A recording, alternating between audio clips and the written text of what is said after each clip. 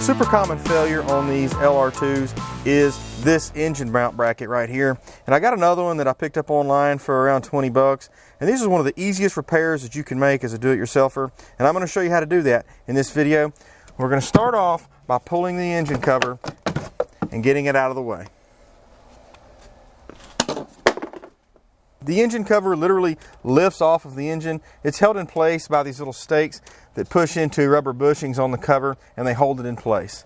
This reservoir, which holds the overflow for the engine coolant, is going to be in the way because we're going to need to back out this bolt as well as this bolt. And this bolt is pretty long. So we're going to start by removing this coolant reservoir.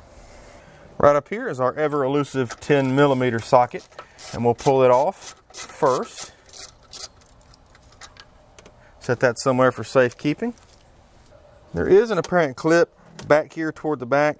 It's hard to show you the exact location of that clip on camera, but here on the side of the reservoir you can see the little slot that it slides into, and that should help you locate it when you're trying to find it on your own. And this should lift straight off of the clip, and you may have to push it to one side or the other to get it to come out, but it should lift out otherwise.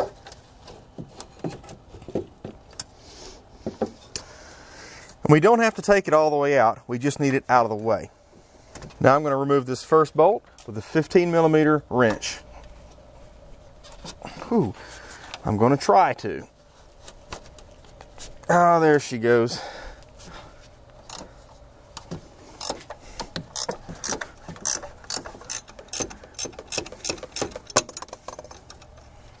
By the way, Land Rover, it would have been really helpful if this thing threaded in from the other side where there's nothing in the way.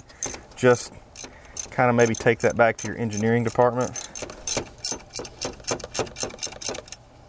And we should be able to just slide this bolt past this overflow reservoir. And there we have it. And now we'll move the reservoir again and we'll do the same thing on this side. Oh, that one was a whole lot easier.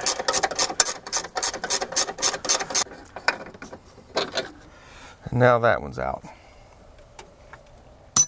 And at this point, the mount should just lift right out and you can see where this one had completely failed. And we're gonna go ahead, I can almost probably pull that out by hand. Um, so in any case, we're just gonna go ahead and put the new one in just the same way that the old one came off. And I'm not tightening this bolt at this point. I'm just putting it in there by hand, just enough so that I can sway this one down and get the next bolt started.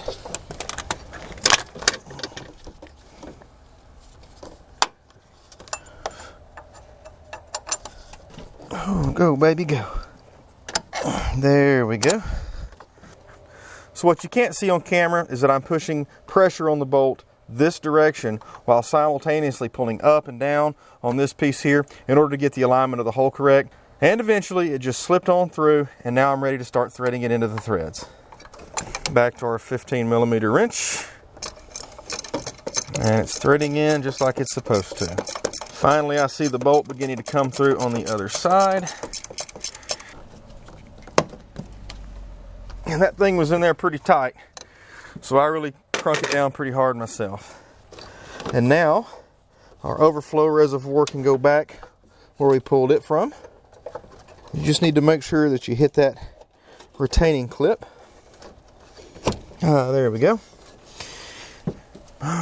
And our 10 millimeter bolt.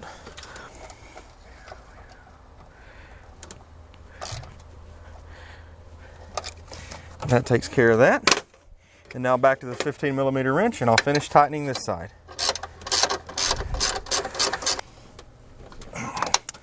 And that is going to be a job complete.